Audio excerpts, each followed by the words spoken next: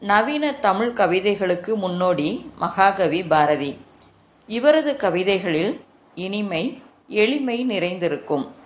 தமிழின் பெருமை தமிழர் நலன் தேசப்பற்று பெண் தேச விடுதலைக்கு ஆதரவாக ஓங்கி ஒலித்த தனித்துவம் மிகுந்த குரல் அவருடையது.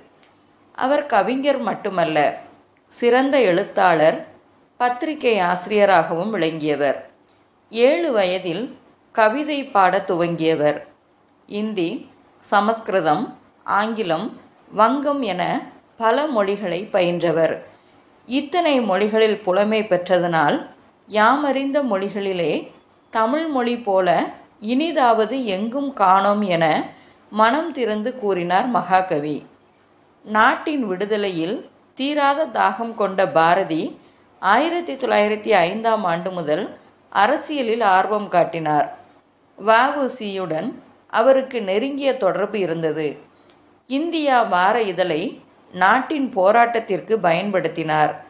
அவரது இதழ்களில் வெளியான பாடல்கள் கேலி சித்திரங்கள் நாட்டின் சுதந்திர போராட்டத்திற்கு கை கொடுத்தன. அக்கால இளைஞர்களுக்கு சுதந்திர வேட்கையை ஏற்படுத்தின.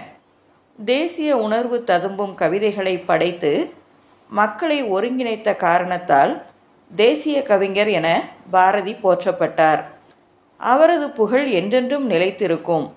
நூறாண்டு ஆனாலும் நெகிழாத புகழ் படைத்தவர்